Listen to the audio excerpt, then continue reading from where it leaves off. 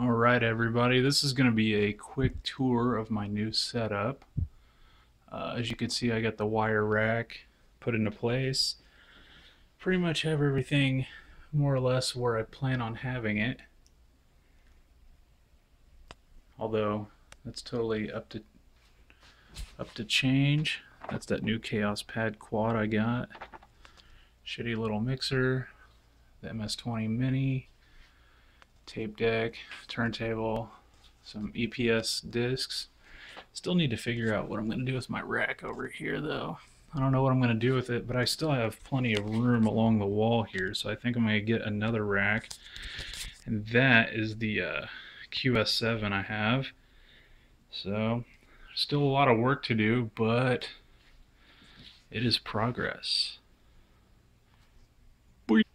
Alright everybody, this is going to be a quick tour of my new setup. Uh, as you can see I got the wire rack put into place. Pretty much have everything more or less where I plan on having it. Although that's totally up to up to change. That's that new Kaoss Pad quad I got. Shitty little mixer, the MS-20 Mini, tape deck, turntable, some EPS discs. Still need to figure out what I'm going to do with my rack over here though. I don't know what I'm going to do with it, but I still have plenty of room along the wall here, so I think I'm going to get another rack.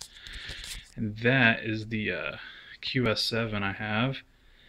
So, still a lot of work to do, but it is progress.